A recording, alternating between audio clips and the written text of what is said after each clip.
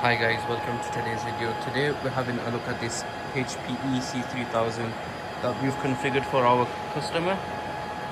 This is based on the HP BL460C Gen 9 server blades along with the DS2220 SB storage nodes.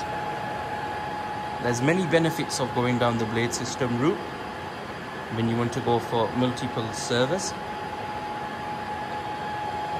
wanted to point out each one of these boxes is equivalent to one server. So one DL360 Gen 9 Gen 10 uh, Gen 9 sorry. DL360 or DL380 Gen 9 and we've got 14 of these compute nodes. So in this little box we've got 14 servers with dual CPU and we've also got the storage nodes which take up to 12 drives in addition to the two in front of each server.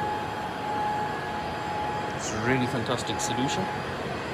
So again benefits. Uh, we save rack space by going for this form factor. As we've got 14 compute nodes you can have up to 16 compute nodes but we've got two storage nodes. It runs from minimum three power supplies and up to six power supplies so you save electricity. The management is via one CMC or control face. Um, networking is also very very easy.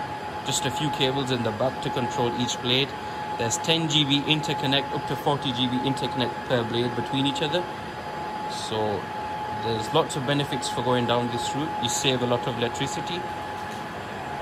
Again we're basing this on the BL460C Gen 9 we've configured this as a HA cluster in Proxmox as per our customer's requirements. I'll show you inside the BL460 Gen 9 I'll show you the back and I'll show you Proxmox as well. I'll just show you the storage.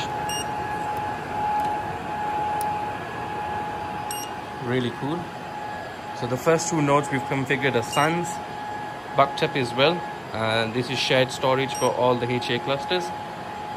Three blades are all clustered. So this is the storage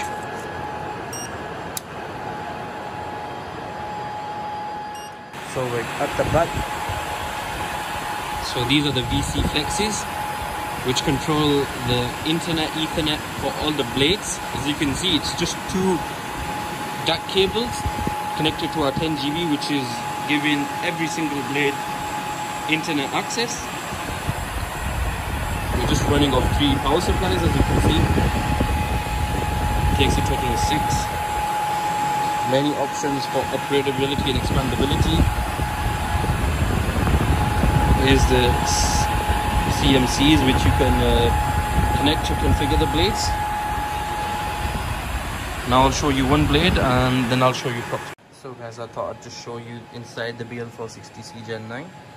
As you can see, it takes two CPUs. Under this is another heatsink for the second CPU. These are all the RAM slots space for two hard drives at the front.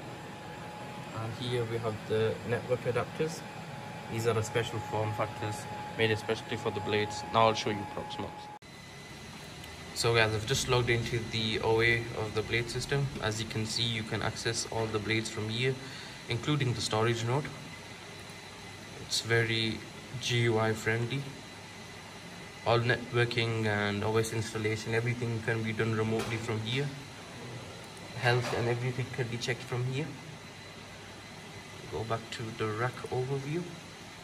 As you can see we'll go into the storage node can check everything can remotely configure everything from here restart everything all from one OA and I'll show you Proxmox that's been installed.